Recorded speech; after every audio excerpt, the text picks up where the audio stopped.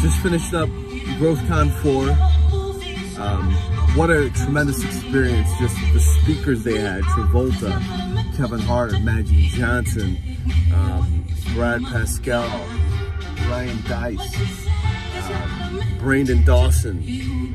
Just incredible stories, but being in Vegas, it, it opened up my mind to something.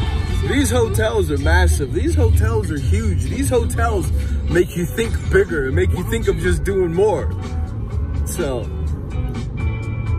I'm sure everyone's been, everybody's been to Vegas, so that's that's nothing new. But being in Vegas reminds me of the ocean because when you go to the ocean, you realize how small you are to the world.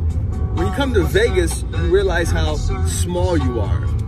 But then it also gives you that same energy to think think bigger, you know, think big, think real, real big.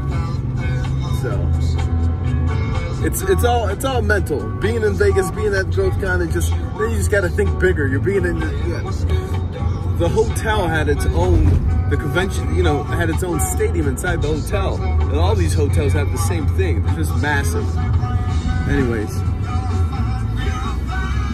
be obsessed or be average in life. Be epic or be average in life.